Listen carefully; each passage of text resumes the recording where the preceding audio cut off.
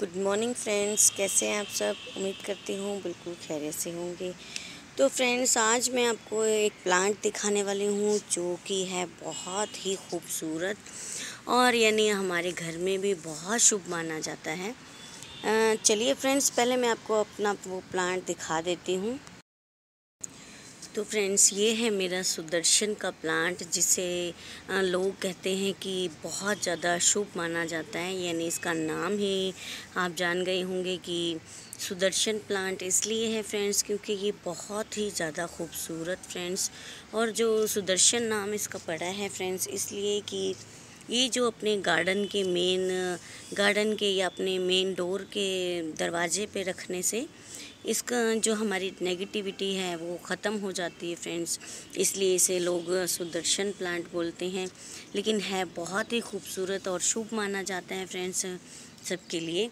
लेकिन फ्रेंड्स अगर हम गार्डनर्स सोचें तो गार्डनर्स के लिए तो सभी प्लांट शुभ हैं फ्रेंड्स तो इस तो इसको जो है ख़ास तौर पे शुभ माना जाता है फ्रेंड्स, कि तभी इसका नाम जो है सुदर्शन प्लांट रखा गया है।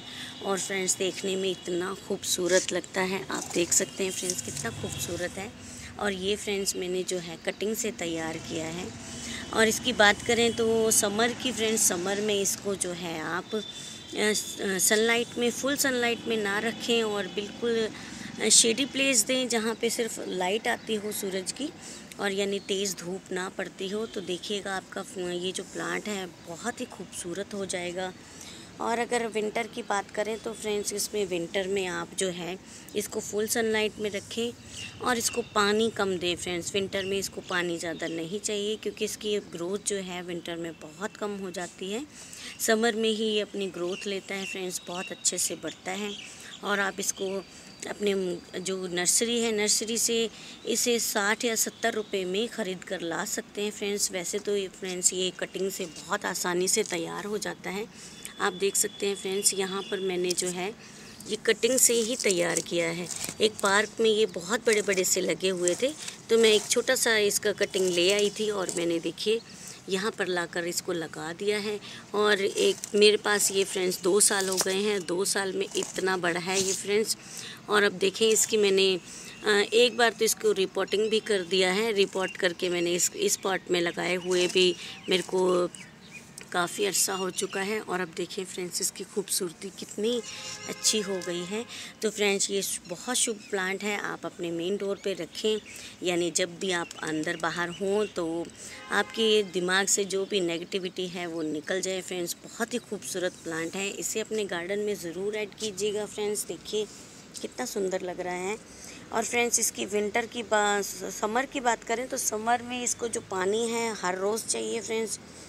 पानी की बात करें इसकी तो पानी इसको हर रोज़ चाहिए। इसको अच्छे से शॉवरिंग कीजिए, नहलाइए और जितना ये क्लीन रहेगा प्लांट यानी साफ़ रहेगा तो उतना ही ये ग्रोथ अच्छी लेगा फ्रेंड्स तो यही था फ्रेंड्स मेरा बहुत ही खूबसूरत प्लांट जो कि मेरे पास मैंने कटिंग से तैयार किया है फ्रेंड्स अगर आपको भी चाहिए तो ज़रूर इसको लगाएँ, अपने गार्डन में शामिल कीजिए। देखिए फ्रेंड्स इसकी लंबी लंबी सी ये जो पत्तियाँ हैं, कितनी खूबसूरत लगती हैं।